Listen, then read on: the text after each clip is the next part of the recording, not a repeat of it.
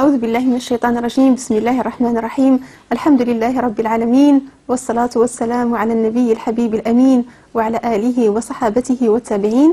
إخواني أخواتي السلام عليكم ورحمة الله تعالى وبركاته. ما زلنا كنعيش مع هذه الصورة العظيمة صورة الأنعام في رحاب أسلوب المزاوجة ما بين الرد على المشركين والمواجهة ديالهم بدلائل وآيات الله تعالى في الكون وفي أنفسهم. ومن خلالها إثبات وحدانية الله تعالى وتفرده بالألوهية والربوبية وما بين المواجهة ديالهم بمصيرهم عند الموت والبعث والحشر واللي هما كينكروه ما كيأمنوش به.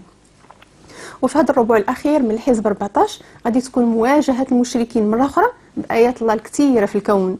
كيقول الله عز وجل إن الله فالق الحب والنوى فهذه آية عظيمة من آيات الله تعالى المعجزة في الكون. من آيات الله الكثيرة اللي قد تغيب على ذهن الإنسان وهو كيشوف فيها وكيعرفها. فإلا تفكر فيها كتبان ليه بعض دلائل قدرة الله عز وجل.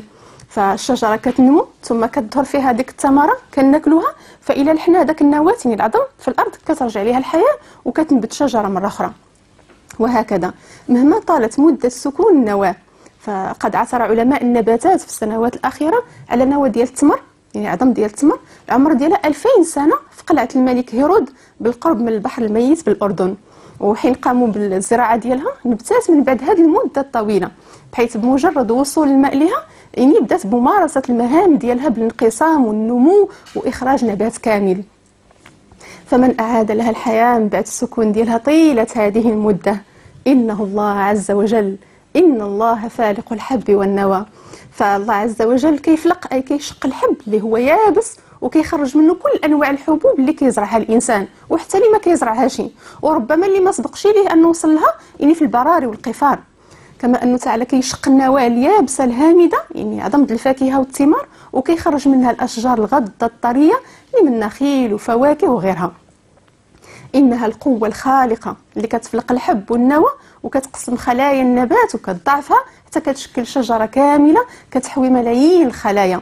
وقد كانت بالأصل خلية واحدة.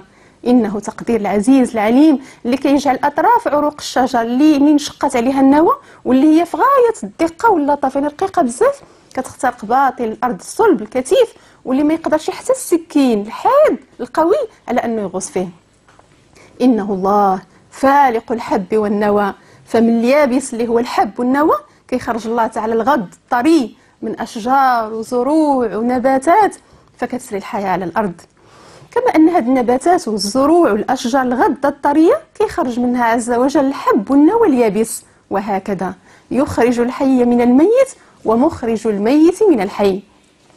فكما أن شق الحب والنوى وإخراج النبات الغد الأخضر من الحب اليابس واليابس من نبات الحي النامي آية عجيبة وحجة باهرة فكذلك إخراج تعالى الحي من الميت والميت من الحي. والأمثلة يعني في هذا الكون الرحب لا تعد ولا تحصى.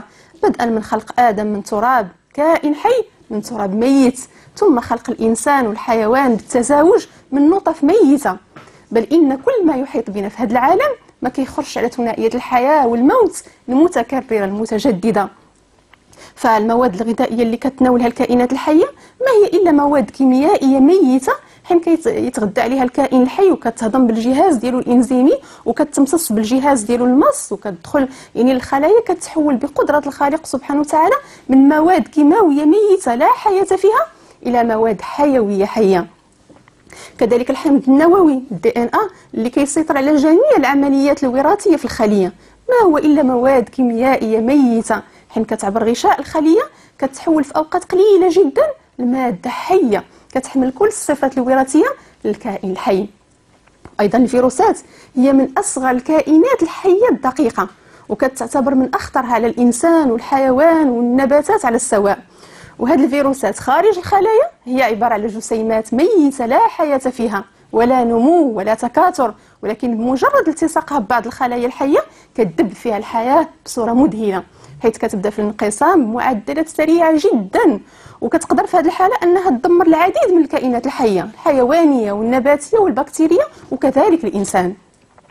والأعجب من هذا الشيء كله أعزائي أنها إذا خرجت خارج الخلية الحية كتحول من جديد إلى جسيمات ميتة وهذا قمة الإعجاز الإلهي في الخلق. يخرج الحي من الميت ومخرج الميت من الحي. فسبحان المحيي المميت جل في علاه. أحبتي في الله لما كندبروا هذه الآية كنوجدوا فيها لطيفة لغوية وهي من اللطائف اللغوية القرآنية اللي كتزيد من الفصاحة ديالو والبلاغة ديالو بحيث يعني تستعمل الفعل مع الحي وتستعمل الاسم مع الميت. يخرج الحي من الميت ومخرج الميت من الحي. وذلك لأن أبرز صفات الحي هي الحركة والتجدد. والصيغة الفعلية يخرج داله على هذه الحركة وهذا التجدد. أما الميت فلأنه في حالة همود وسكون وثبات فعبر عليه بالصيغة الدالة على الثبات مخرج. ثم إن التعبير بالفعل على التجدد والتكرر باسم الفاعل على الثبات والدوام حصل منه أن الفعلين بجوج متجدد وثابت أي دائم ومستمر. فسبحان من هذا كلامه. كما أن هذه الآية يعني على الإيجاز ديالها فهي تضمنت العديد من الحقائق العلمية واللمحات الإعجازية اللي ما سبق لها حتى شي واحد قبل من القرآن الكريم. فالآية اولا يعني فرقت ما بين الحب والنوى والمعلوم علميا أن الحب ماشي هو النوى. فالحبة هي ثمرة كاملة بحال يعني الحبوب ديال الذرة والحنطة والشعير. وأما النوى يعني العظم فهو من البذور وهي جزء من الثمرة بحال النوى ديال البلاح وديال النبق وديال الخوخ وديال العنب وغيرها. وهذا التفريق ما بين الحب والنوى هو من الإعجاز العلمي النباتي في القرآن الكريم واللي سبق به القرآن تقسيم الحديث للبذور والثمار.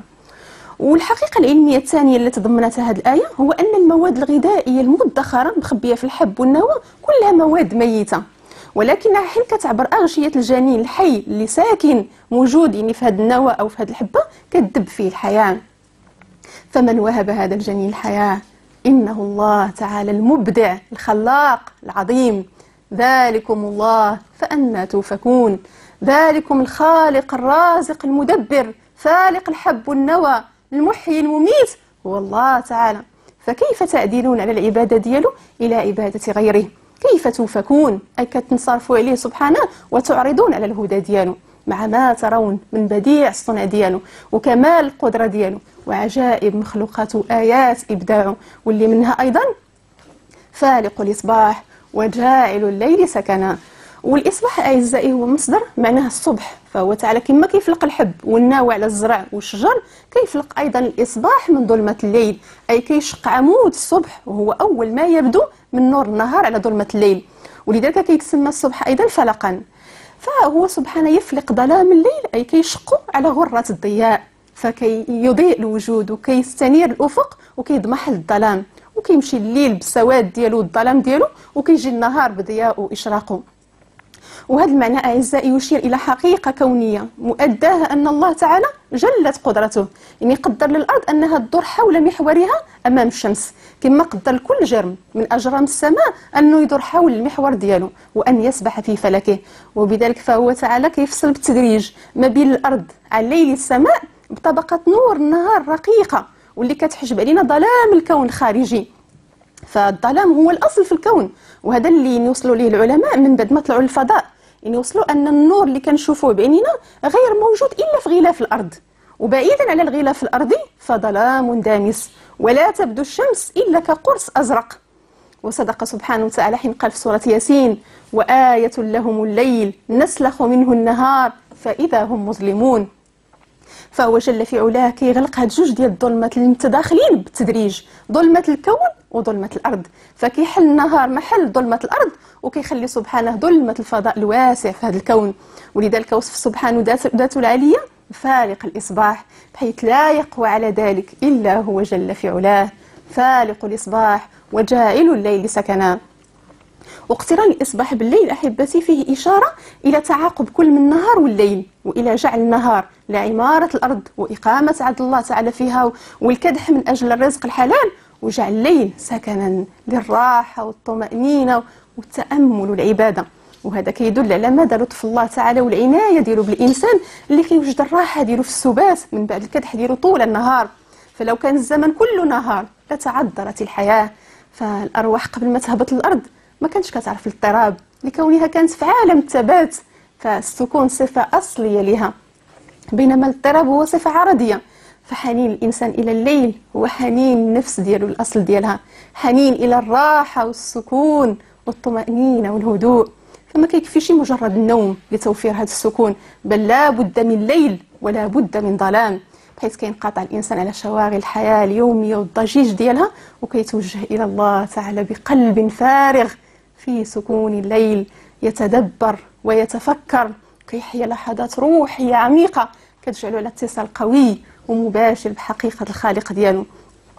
ولذلك كنوجدوا القرآن الكريم أعزائي كيحث على قيام الليل في آيات كثيرة منه فحين كيخيم الظلام كترتاح الحواس وكتعم الطمأنينة والسكون كتخلص الأرواح من ثقل المادة فكتعرج المولاها وخالقها وبارئها. سبحانه. فالق الإصباح وجاعل الليل سكنا. فهو تعالى جعل الليل سكن ماشي فقط للإنسان وإنما سكن كتسكن فيه كل المخلوقات. للراحة والهدوء والاستقرار. الناس لديورهم والمنام ديالهم والأنعام المأوى ديالها والطيور الأوكارها حتى النباتات كتستافد من الليل ومن الظلام. فلولا تعاقب الليل والنهار لما تمكنت النباتات من إنتاج المواد ديالها والمركبات ديالها اللي هي نتيجة تفاعلات الضوء وتفاعلات الظلام. ولما تمكنت من تكوين هرمون الإزهار في النباتات الزهرية. ومن بعد ظلام الليل والسكون ديالو كيفلق الله الضياء من الظلمة؟ فكترجع الحركة إلى الأرض وهكذا سكون وحركة إلى يوم القيامة. فالق الإصباح وجاعل الليل سكنا والشمس والشمس والقمر حسبانا. فمن آياته تعالى أيضا في هذا الكون الفسيح دوران الشمس والقمر بانتظام وبحساب دقيق حسبانا. فقد شاءت إرادة الله سبحانه وتعالى أنه يتحدد يوم الأرض بالليل ديالو والنهار ديالو عن طريق دوران الأرض حول محورها أمام الشمس. وأنه يتحدد شهر الأرض القمري بواسطة دورة القمر الشهرية حول الأرض. ويتحدد الشهر ديالها الشمسي عن طريق بروج السماء وأن يقسم شهرها القمري إلى أسابيع وأيام بواسطة منازل القمر والأطوار ديالو المتتالية في كل شهر. ومن ثم السنة القمرية والسنة الشمسية حتى أصبحت حركة كل من الأرض والشمس والقمر. معلومة عندنا اليوم بدقة كبيرة لدرجة أن الساعات الزمنية كتضبط على الحركات ديالها. وصدق الله العظيم اللي نزل منذ 1434 سنة قوله عز وجل والشمس والقمر حسبانا. أي بحساب محكم دقيق كيعاون الإنسان على إدراك الزمن والحساب ديالو وتاريخ الأحداث وأداء العبادات والحقوق. ولولا ذلك لتعذرت الحياة على الأرض.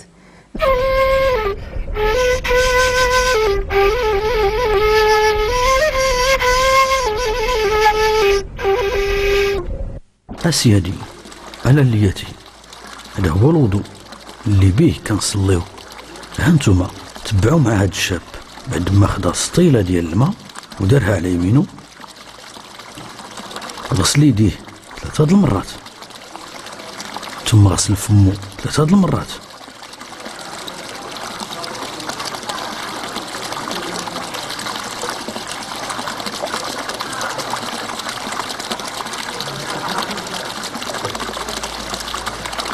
ثم غسل نيفو ثلاثة المرات.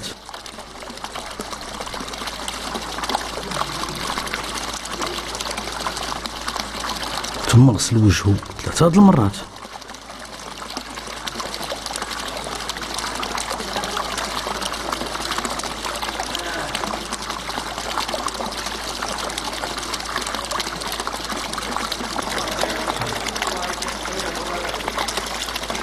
وعاود غسل يديه.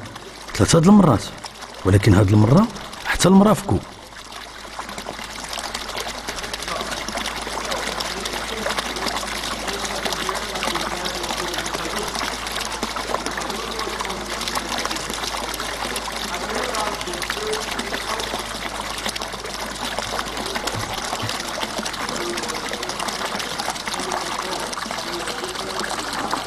تما مسح راسو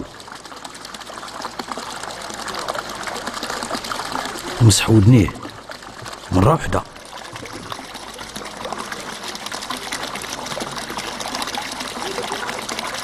في الآخر غسل رجليه ثلاثة المرات.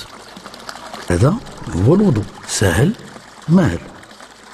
نساوش راه هو عبادة.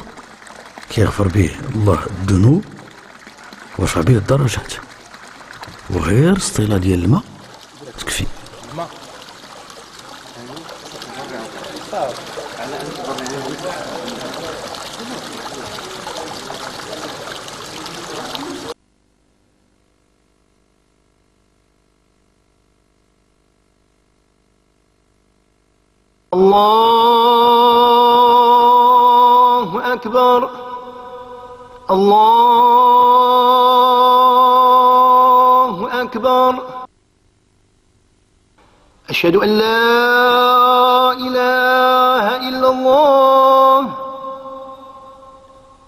أشهد أن لا إله إلا الله.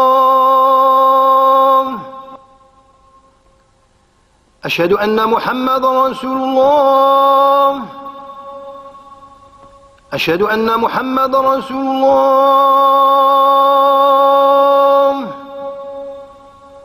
حي على الصلاة. حي على الصلاة.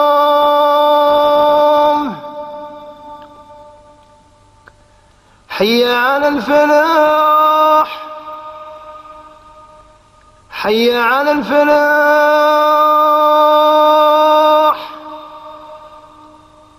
الله أكبر. الله أكبر. لا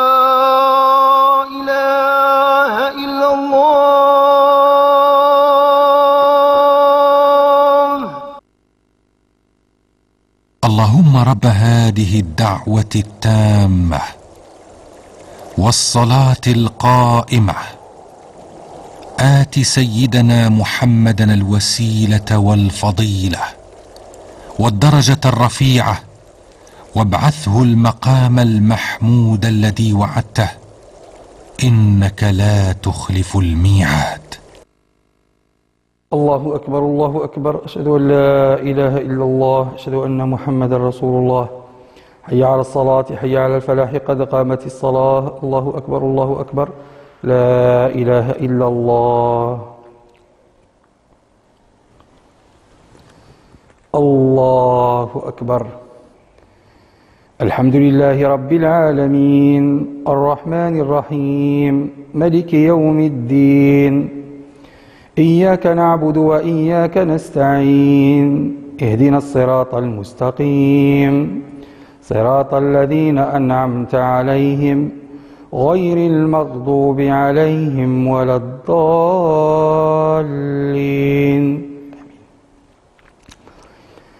ألم نشرح لك صدرك ووضعنا عنك وزرك الذي أنقض ظهرك ورفعنا لك ذكرك فإن مع العسر يسرا إن مع العسر يسرا.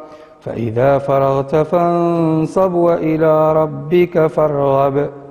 الله أكبر.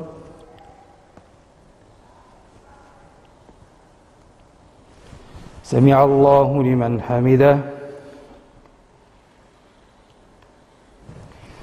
الله أكبر.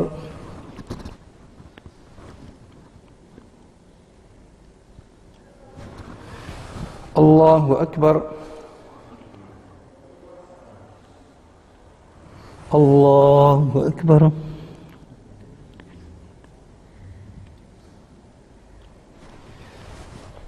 الله أكبر. الحمد لله رب العالمين. الرحمن الرحيم. ملك يوم الدين. إياك نعبد وإياك نستعين اهدنا الصراط المستقيم. صراط الذين أنعمت عليهم غير المغضوب عليهم ولا الضالين.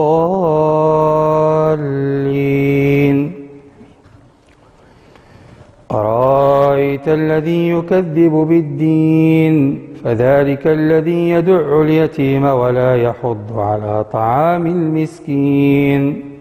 فويل للمصلين الذين هم عن صلاتهم ساهون الذين هم يراءون ويمنعون الماعون. الله أكبر.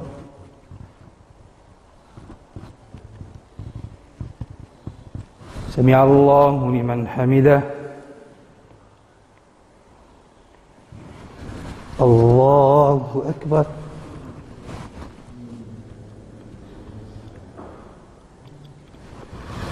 الله أكبر. الله أكبر.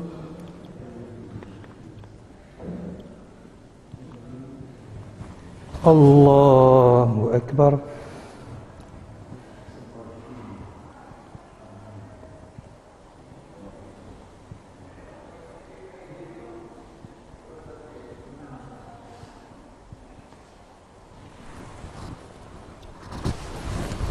الله أكبر.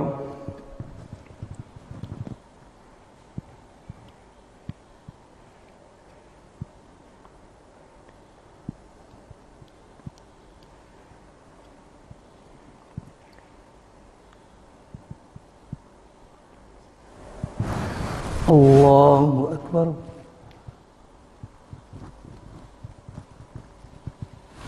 سمع الله لمن حمده.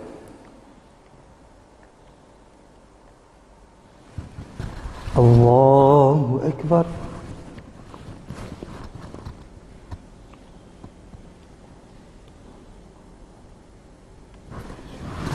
الله أكبر. الله أكبر.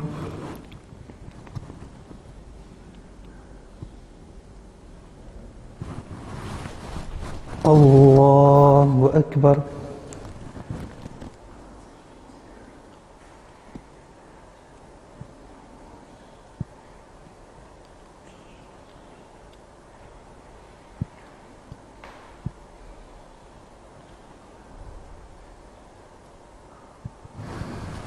الله أكبر سمع الله لمن حمده.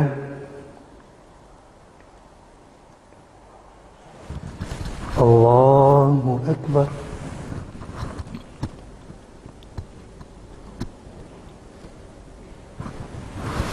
الله أكبر.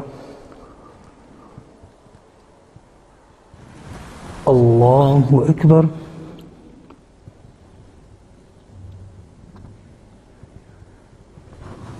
الله أكبر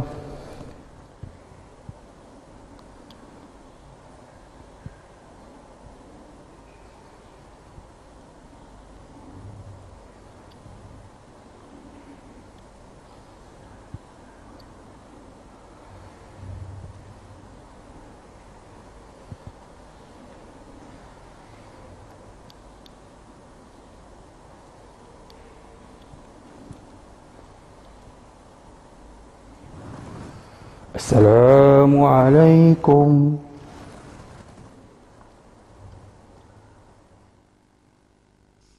هانتم المؤمنين. شفتوا؟ خونا المؤمن وهو كيصلي الصلاة ديال العشاء أربعة د الركعات كيما شفتوا جوج الأولين بالجهر وبالفاتحة والسورة ومن بعد التحيات ومن بعد جوج ركعات أخرين غير بالفاتحة. وبالسر ثم تحى وسلم. واش كاين؟ ما سهل من هاد الصلاة؟ الله يسهل علينا وعليكم الخوت. ويعاوننا باش نصليو صلاتنا في الوقت. والله يتقبل منا ومنكم.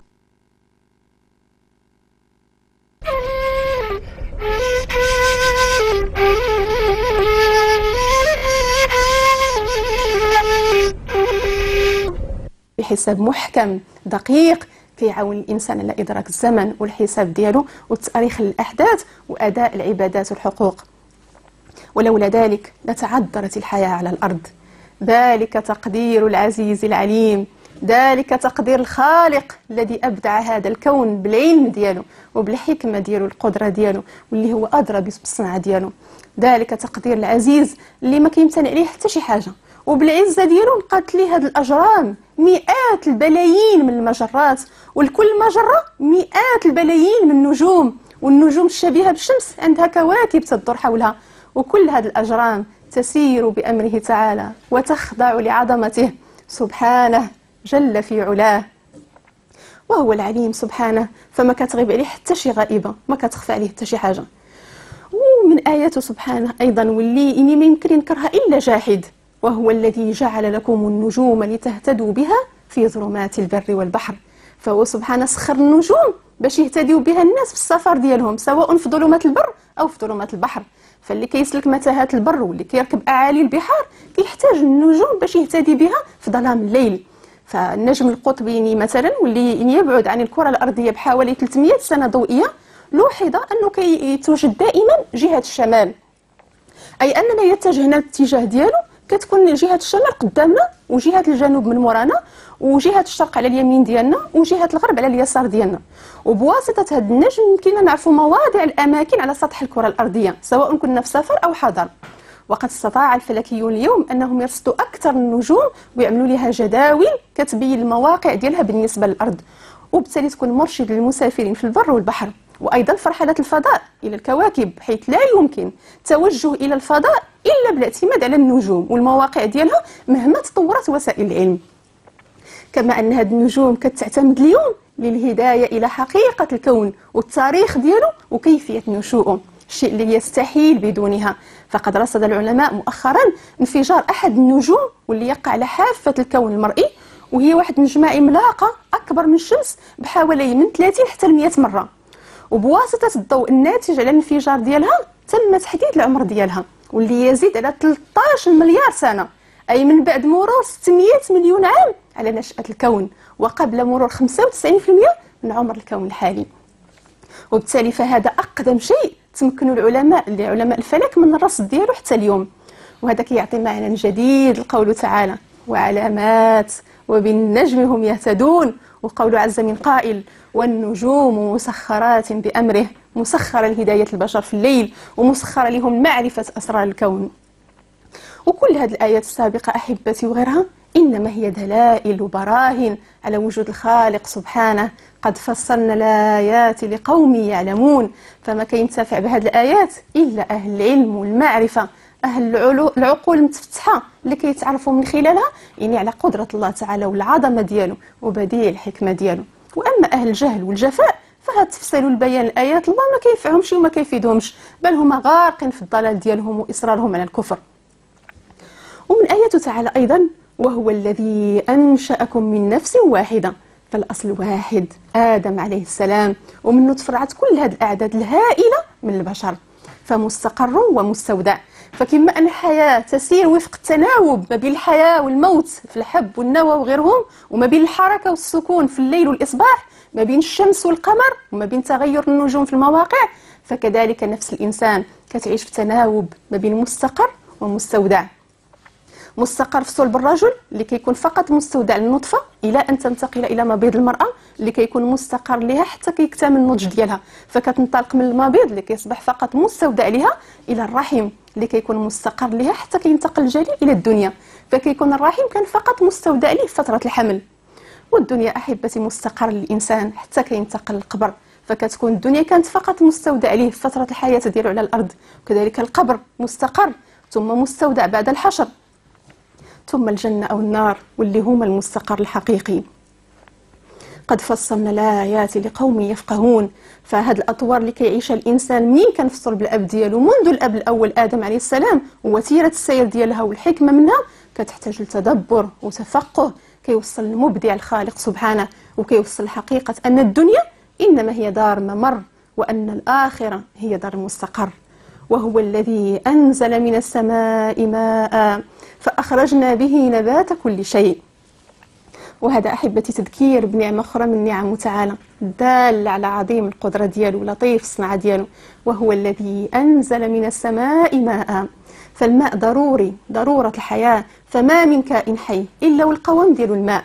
فقد وجد العلماء أن نسبة الماء في تركيب المخلوقات الحية كتوصل لأكثر من 70% وجعلنا من الماء كل شيء حي وهذه الآية أعزائي اللي ما بين يدينا حددت أصل المياه الموجودة على الأرض سواء المياه السطحية أو الباطنية وهو الذي أنزل من السماء ماء. الشيء اللي كيعرفه وكيشوفه كل إنسان. لكن الحقيقة ديالو أن الله تعالى هو اللي كيصرف الرياح وهو القائل عز وجل وتصريف الرياح كيصرف هذه الرياح باش تمر على مصادر المياه من بحار وأنهار فكتحمل هذاك البخار الصاعد منها نتيجة أشعة الشمس وكترتفع به الأجزاء العليا من نطاق الرجع وهو نطاق التغيرات المناخية فكيتكون المزن وهي السحب الممطرة. وحين كتكتف هذاك السحب بالمزيد من بخار الماء اللي هو متصاعد من فوهات البراكين ومن نتج النبات وتنفس وإفراز كل من الإنسان والحيوان كتسقط واحد القطيرات ديال الماء اللي في السحب المزنية على شكل زخات المطر أو حبات البرد اللي التبروري أو بلورات الثلج بالقدر اللي كيحددو الله تعالى وفي المكان اللي كيختارو سبحانه وفي الوقت اللي كيبغيه جل في علاه تبعا العلم ديالو والحكمه ديالو. ومن لطف الله تعالى أحبتي أن قطرة الماء الواحدة اللي كتنزل من السماء لو لم يكن هناك هواء وسقطات كانت غتحول إلى مطرقه الوزن ديالها 12 كيلوغرام بسبب قوة السرعة ديالها والتسارع ديالها وبالتالي فما غيبقى على وجه الأرض حتى شي مخلوق. لكن الهواء اللي كيخفف السرعة ديالها وكيجعلها بإذن الله رحمة وغيثا. نعمة كبرى من لطيف بعباده بجميع خلقه سبحانه. وهو الذي أنزل من السماء ماء فأخرجنا به نبات كل شيء.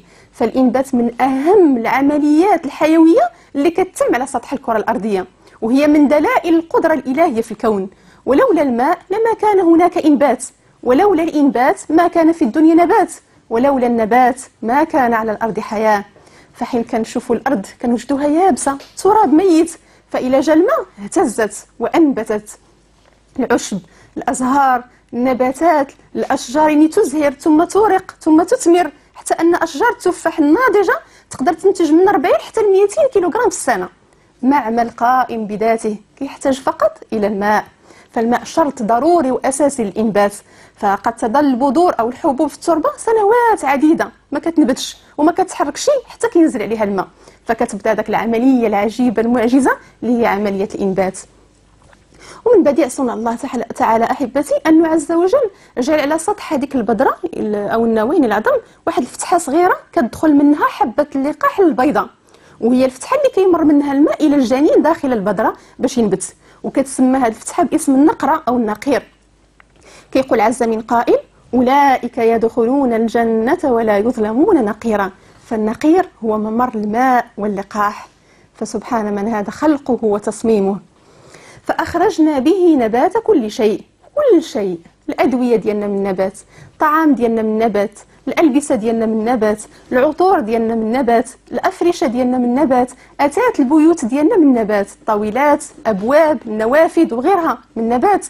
النبات الحدودي أو النبات الشوكي اللي كيحمي من اللصوص من النبات النار اللي كندفاو بها أو كنطيبوا عليها من النبات معجون الأسنان من النبات الأوراق اللي كنكتبوا عليها من النبات الاكسجين اللي كنستنشقوه من النبات. فأخرجنا به نبات كل شيء.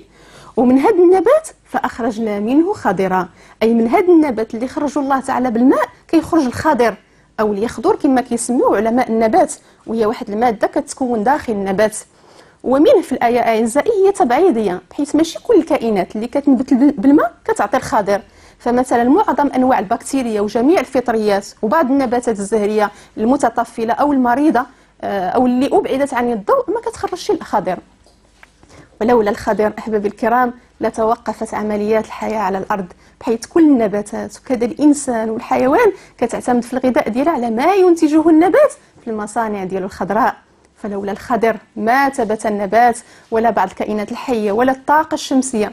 لولا الخضر ما تكونت أي مادة غذائية على الأرض. لولا الخضر ما كان على الأرض لا نار ولا خشب ولا فحم ولا بترول ولا كهرباء ولا حياة. فالورقة الخضراء أقدم وأعظم وأضخم مصنع للطاقة في العالم. الخضر يعني الخضر هو المادة الخضراء هو المثبت للطاقة الشمسية على الأرض بما اودع الله تعالى فيه يعني من خصائص حيوية حتى يعني أصبح اللون الأخضر رمز الحياة يعني تحن العين لرؤيته وكترتاح القلوب ما بين أحضان الطبيعة من أجله وكتشتاق النفوس الفصل الربيع للتمتع به. وهو أنسب لون للعين وللقلب وللروح أنسب لون للحياة كلها بل أنسب لون للحياة الخالدة الأبدية. كيقول الله تعالى في لباس أهل الجنة ويلبسون ثيابا خضرا من سندس واستبرق ولذلك كنوجدوا حتى الأطباء غيروا البدلات ديالهم من اللون الأبيض للون الأخضر من أجل طمأنة المرضى وجعلهم كيستشعروا الأمل في الحياة. وهذه الحقيقة العلمية أعزائي اللي كيتضمنها قوله تعالى فأخرجنا منه خضرا واللي يعني تجندوا لها العلماء بضعة قرون إلى القرن العشرين من بعد ما توفرت لهم وسائل البحث العلمي الدقيقه والأجهزة المتطورة ومراكز ومعامل الأبحاث في مجال فسيولوجيا النبات. هذه الحقيقة قررها القرآن الكريم منذ 1434 سنة على لسان نبي أمي عاش في بيئة صحراوية وفي أمة أمية وفي عصر ما توفرتش فيه حتى شي آلة من آلات البحث العلمي. فسبحان من هذا كلامه. فأخرجنا منه خضرا نخرج منه حبا متراكبا. فالله تعالى خرج بالماء النبات وخرج من النبات الخضر. ومن الخضر خرج سبحانه حبا متراكبا. حب كيتلصق بعضو ببعض وكيركب بعضو فوق بعض إشارة للكثرة ديالو والوفرة ديالو. حبا متراكبا. فهو حب وماشي فقط حبة وحدة. كيقولوا أصحاب البحوث العلمية ومختبرات الفضاء والذرة إذا أردنا صنع حبة قمح واحدة وأقمنا مصنعا بمساحة قارة لعجزنا عن صنع هذه الحبة من مكوناتها الأولية. سبحان الله هذا خلق الله. فأروني ماذا خلق الذين من دونه. وكيشمل الحب المتراكب أكثر من 450 جنس وأكثر من 4500 نوع من أنواع هذه الأجناس وعشرات الآلاف من الأصناف ديالها. حبا متراكبة. فإلا خدينا واحد الرمانة مثلا وفتحناها فغادي نوجدوا الحب ديالها متراكب. وكل حبة فيها واحد الخيط موصول لمكان التغذية. كذلك التين والذرة والسبولة والبازيلا يعني الجلبانة والفول واللوبيا والقمح والشعير والعدس والحمص كلها حب متراكب مرصوص. ما كاينش ما بين الحبات ديالها فراغات. تصميم من؟ خلق من؟ وما قدر الله حق قدره. ومن النخل من طلعها قنوان دانية. والطلع من النخل أعزائي هو أول ما يخرج من التمر في الأكمام ديالو أي في الوعاء ديالو. ثم كيتفتح فكيخرج منه العنقود مجتمع فكيصبح قنو أي عرجون كيضم العديد من البلحات وكل بلحة موصولة بالنخلة بواسطة واحد العرق بحال الأنبوب يعني بحال التيو كيوصل الماء لكل بلحة بلحة باش تغدى عليه. ومن النخل من طلعها قنوان دانية أي عراجين دانية يعني قريبة من اللي غادي يجنيها. وهذا كناية على عدم طول النخلة. وإشارة أيضا إلى أن من النخل القصير والطويل. واقتصار الآية أعزائي على القنوان الدانية هو الامتنان وأيضا لأن القنوان القريبة هي أظهر وأوضح للتدبر والتفكر. فسبحان من هذا كلامه ومما يعني أخرجه الله تعالى أيضا من الخضر وجنات من أعناب أي مزارع وبساتين من أشجار العنب. والزيتون والرمان من كل أنواع الفصائل مشتبها وغير متشابه مشتبه شكلا وغير متشابه في المكونات والخصائص وكيدخل في التشابه اللون والطعم والشكل. فأنواع العنب مثلا أكثر من 300 نوع كاين الأسود كاين الحمار كاين الأبيض كاين البلدي كاين حلو زعيق كاين ناقص حلاوة كاين عنب رطب كاين عنب قاصح كذلك الزيتون والرمان أنواع كثيرة. بل إن التشابه وعدم التشابه كيكون حتى في الوظائف والمنافع الغذائية. فالزيتون والرمان مثلا ما كيتشابهوش لا في الشكل ولا في اللون ولا في الطعم ولكنهم كيتشابهوا في إحدى الوظائف وهي الحماية من تصلب الشرايين من خلال اذابه الكوليسترول من على جدران الشرايين. وهنا كتضح روعة التعبير القرآني مشتبها وغير متشابه. ولما كنتدبروا أعزائي قوله تعالى يعني نخرج به حبا متراكبا ومن النخل من طلعها قنوان دانية وجنات من أعناب والزيتون والرمان. كان نوجد أن من بين المناسبات لذكر هذه الأصناف دون غيرها. هو التشابه ديالها في كون الحبوب ديالها أو الثمار ديالها متراكبة. الحبوب ثمار النخيل في العراجين وثمار العنب في العناقيد وكذلك حبات الرمان. هذا إلى جانب كونها المواد اللي كيحتاج لها الإنسان في الغذاء ديالو الأساسي وكتحتاجها الأنعام ديالو في العلف ديالها. فهذه آيات الله تعالى في الكون وبديع الخلق ديالو. جعلها تعالى علامات دالة على الوجود ديالو وحدانيته تفرد بالألوهية والربوبية. انظروا إلى ثمره إذا أثمر وينعيه. إن في ذلكم لآيات لقوم يؤمنون. فكل هذه الثمار وعبر كل المراحل ديالها بدءا من الإنبات إلى الينع والنضج. هي كتاب الله في الكون اللي كيفتحوا أمام عباد المؤمنين النظر ثم التدبر والتفكر. فالتفكر في النبات أعزائي هو أقصر طريق كيوصل الله عز وجل. وباب واسع كندخلوا منه عليه سبحانه. ومن عظمة القرآن الكريم أنه كيذكر الحقيقة ثم كياخذ بيدي الناس للوقوف على أول الطريق اللي بغى معرفة السر. انظروا إلى ثمره إذا أثمر وينعيه. والثمر هو الجني اللي كيخرج يخرج الشجر. أما الينع فهو الطيب والنضج. فهو تعالى كيوجه النظر إلى خروج الثمره وانظروا كيف خرج الله تعالى هذه الثمره الرطبة اللطيفة اللينة من هذه الشجرة الكثيفة اليابسه قاصحة. انظروا إلى بداية تكون الثمره كيفاش كتكون في الأول خضراء وباقا قاصحة ثم انظروا إليها حين تينع وتنضج. كيفاش كيولي الطعم ديالها واللون ديالها. إن في ذلكم لآيات لقوم يؤمنون. فما كيعتبر بهذه الآيات وكينتفع بها إلا المؤمنون. أيها الأحبة في الله لما كندبروا هذه الآيات السابقة اللي تضمنت حقائق علمية باهرة من قوله تعالى إن الله فالق الحب والنوى كنوجدوا أن كل آية آية إلا وتضمنت من العلم والحكمة والإعجاز ما يكفي لإنشاء كليات علمية لدراسة الحقائق ديالها كما كيقول العلماء. وما زالت هذه الآيات مع مرور الأزمان كتابا مفتوحا للتدبر والتأمل والبحث واكتشاف ما بها من أسرار وإعجاز. كتخاطب كل قوم في كل زمان ومكان بما يناسب العقول ديالهم وإمكانياتهم العلمية.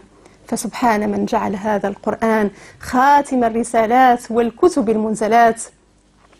وسبحانه جل في علاه تسمى آيات القرآن آيات فهي حقا علامات كيهتدوا بها العباد الملاهم وخالقهم تأمل سطور الكائنات فإنها من الملأ الأعلى إليك رسائل. وقد خط فيها لو تأملت خطها ألا كل شيء ما خلا الله باطل. دمتم بخير والسلام عليكم ورحمة الله تعالى وبركاته.